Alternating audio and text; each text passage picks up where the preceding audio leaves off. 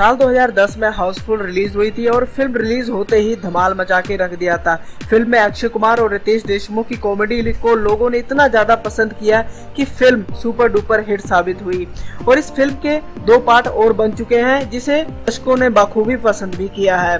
Housefull franchise की तीन instalment बनने के बाद अभी हाल ही में खबर आई कि फ़िल्म हाउसफुल का चौथा इंस्टॉलमेंट भी बनने जा रहा है, जिसमें एक नए स्टार की एंट्री हो गई है।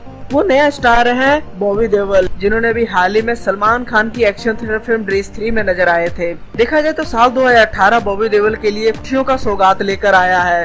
और इस बार साजिद खान ने हाउसफुल के चौथे इंस्टॉलमेंट के लिए बॉबी देवल पर भरोसा जताया है। हाउसफुल फोर में बॉबी देवल के अलावा अक्षय कुमार और तेज देशमुख की जोड़ी बरकरार रहेगी, जो पहले भाग से ही हाउसफुल फ्रेंचाइजी का हिस्सा बने हैं। अक्षय कुमार ने कल अपने ट्विटर हैंडल से फ़िल्म हाउसफुल की मुहूर्त की फ़ोटो शेयर की। इसमें अक्षय कुमार के अलावा रितेश देशमुख और बॉबी देवल भी नज़र आ रहे हैं। इस फ़िल्म से जुड़े अगर बाकी कलाकारों की बात करें तो फ़िल्म में कृति सेनन, पूजा हेगड़े और कृति खरबंदा भी नज़र आ सकते हैं फ़िल्म हाउसफुल फोर में। तो फ़िल्म की रिलीज़ की तारीख की बात करें तो साल 2019 के नवंबर महीने तक फ़िल्म हाउसफुल को रिलीज़ किया जा सकता है।